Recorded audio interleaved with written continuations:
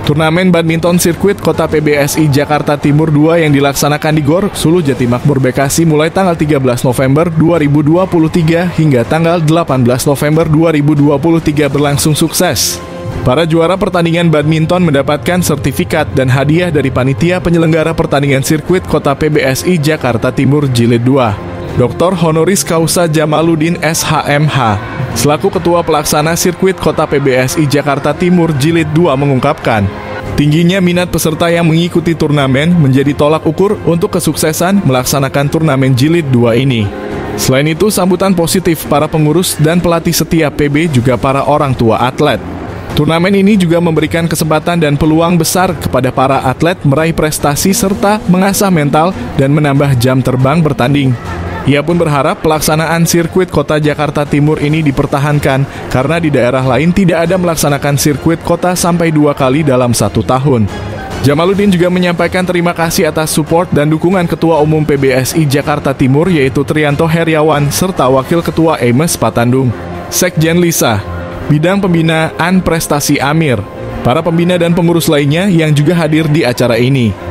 Jamaluddin mendorong dan berharap di sirkuit kota Jilid 2 ini bisa dilakukan di daerah-daerah lain, supaya kesempatan anak-anak memiliki kesempatan dan peluang muncul di permukaan calon atlet yang memiliki prestasi bagus.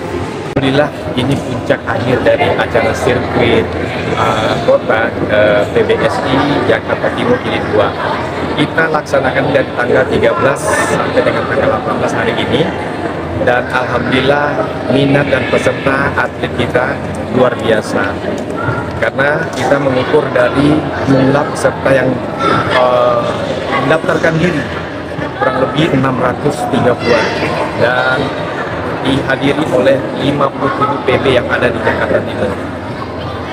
Artinya apa? Kita melihat kesuksesan kita melaksanakan jilid 2 ini eh, ditanggapi positif oleh beberapa uh, tentunya beberapa pelatih atau owner pemilik PBSI karena apa? Kita memberikan peluang kepada atlet kita meraih prestasi. Ingat, prestasi PBSI yang kita lakukan ini, ini kita laksanakan secara resmi. Yang dibutuhkan itu sertifikatnya. Sertifikat itu sangat menunjang buat anak-anak yang bagi mau menjalurkan prestasi, terutama di pendidikan Nah, seharapan saya ke depannya ini tetap dipertahankan karena di daerah lain tidak ada melaksanakan sirkuit kota sampai dua kali dalam satu tahun. Hanya Jakarta Timur.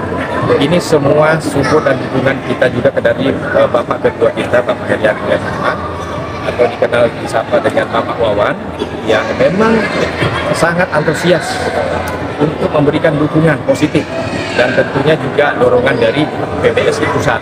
Nah, saya berharap pelaksanaan sirkuit kota yang kedua ini juga bisa diikuti oleh daerah lain supaya kesempatan atlet kita yang tidak terlihat akhirnya nongol di permukaan kita bisa melihat kualitas dan kualitas pemain dalam meraih prestasi. Cukup luar biasa meriah acara ini sangat antusias disambut positif oleh orang tua dan uh, para pelatih serta para para uh, owner uh, dan uh, para sponsor.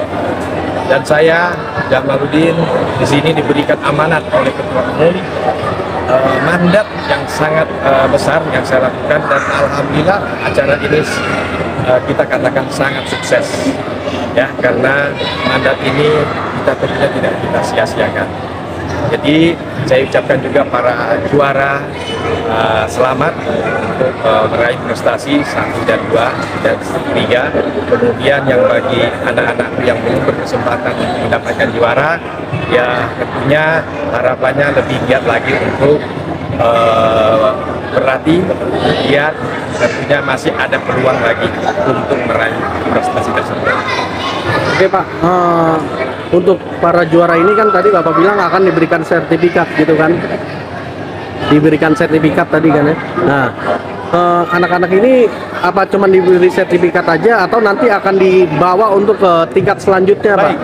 Memang kita ini ajang uh, evaluasi karena memang di depan mata kita ini kita dihadapkan lagi kejuaraan uh, tingkat provinsi untuk mewakili uh, wilayah Jakarta Timur khususnya.